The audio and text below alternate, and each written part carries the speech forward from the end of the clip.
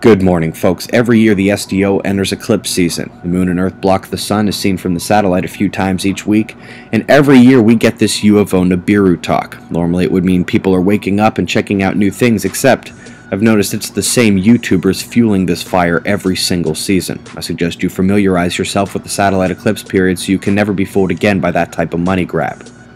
Moving on, Got a great update with video to the Florida sinkhole situation. The article accompanying the video is useful as well, discussing the mechanism, drivers, and human exacerbation factors. Australia's angry summer, while heat is the prime focus, the BOM is detailing many other forms of weather extreme, like flooding. I shared this link yesterday but didn't get to show it. It's not just honeybees anymore. In Ecuador, the Tungurahua volcano has been rumbling since December, but with a definite uptick over this past weekend, and they're worried about an eruption. Major earthquake in China, Now, it won't count from my watch because I set the rubric at 6.0 and I'm not going to change mid observation. But I know there are many out there using the same or similar quake factors and looking for other types of uptick watches, like five pointers we had in Oregon and the Dominican Republic. True enough, a five pointer in Indonesia isn't exactly like a five pointer in New York City, right? Well, this falls into that same category. Highly unusual to have this type of quake here. 700 homes destroyed or collapsed, thousands more damaged, dozens of injuries. A quick note on the quake factors. Before yesterday's news, disappearing umbral field tilted the remaining field and opened the green hole further to Earth.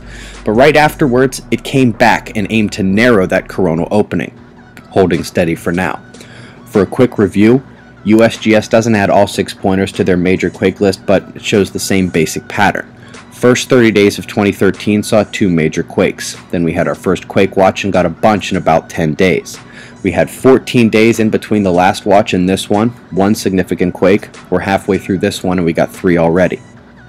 Moving on to the weather, two top stories. First, Australian flooding, very significant. Just like yesterday, the storms wrap around the north coast from southeast Queensland around close to Port Hedland.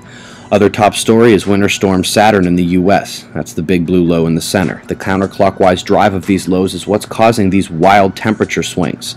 Lows have always pulled one way at the leading edge and the other at the backside, but the lows are lower and causing more extreme shifts. Once you look at how it moves the wind, the temperature delta should make perfect sense. Should also be noted that severe weather is not expected at this time, just high wind gusts south of the snow. West Coast, getting a rain break when Saturn broke across the states, but your next North Pacific low is en route to you. Comet Pan-STARRS, if you missed yesterday's video, it's getting brighter, set to reach perihelion in 8 days. The pictures are coming in. It has been over 2 weeks since our last gamma burst. That's somewhat of a drought. Cosmic ray density holding just above 100. Another quiet sun with no major flaring. Developing groups are all talk these days, either that or they wait until they turn the limb to fire. Meanwhile, on the eastern limb, group after group crests, then decays. Earth's collapsing atmosphere watches sunspot after sunspot pass without flaring or hopes of re expansion. The lone eruptive feature yesterday came off the southeastern limb, another filament in 193 angstroms, and again here in 304. Most plasma slid back into the sun. Now, as we discussed earlier, we got some Earth-facing coronal holes. The umbral field resurgence and tilt back has narrowed the Earth-directed field opening, especially since this is not trans-equatorial. But the planets are lining up as well. Hopefully the second half of the quake watch is less active and damaging. Thoughts are with the victims of that quake in South China. Eyes open. No fear, it's 6.30 a.m. Eastern Time, and that's the news. Be safe, everyone.